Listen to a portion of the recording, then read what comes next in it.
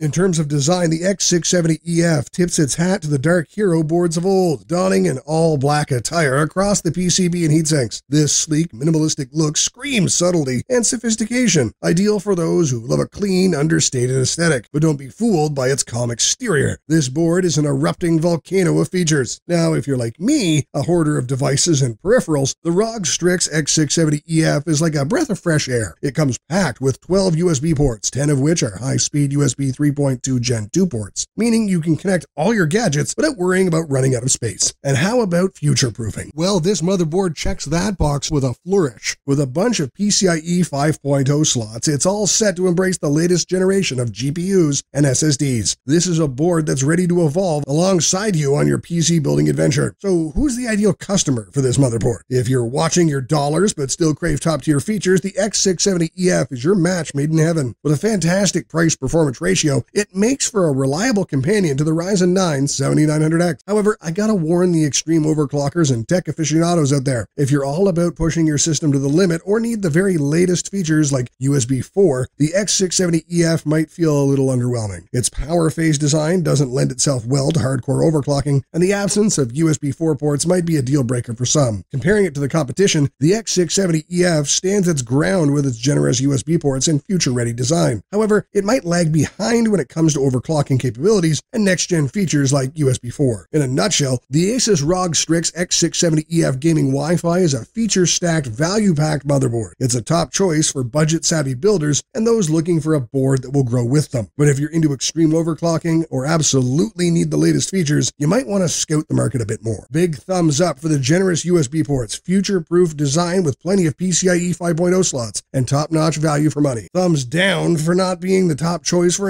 intense overclocking and the lack of USB 4 ports. But remember, folks, no board is perfect, and it's all about finding the right fit for your needs and budget. Before you dash off, I've got another awesome video for you right here with the three best motherboards for Ryzen 9 7900X. Trust me, you don't want to miss this one. So sit tight and let's keep this journey rolling. As always, thank you for watching, and until the next one, stay awesome.